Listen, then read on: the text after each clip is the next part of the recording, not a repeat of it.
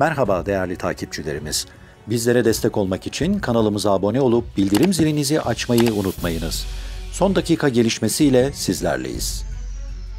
Son anket sonuçları açıklandı. İşte Erdoğan ve Kılıçdaroğlu arasındaki fark.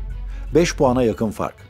Araştırma 25 Mart 2 Nisan 2023 tarihleri arasında İstanbul, Tekirdağ, Balıkesir, İzmir, Aydın, Manisa, Bursa, Kocaeli, Ankara, Konya, Antalya, Mersin, Denizli, Burdur, Kırıkkale, Kayseri, Zonguldak, Kastamonu, Samsun, Trabzon, Erzurum, Ağrı, Bingöl, Van, Elazığ ve Mardin dahil toplamda 26 ilde 2147 kişiyle yapıldı.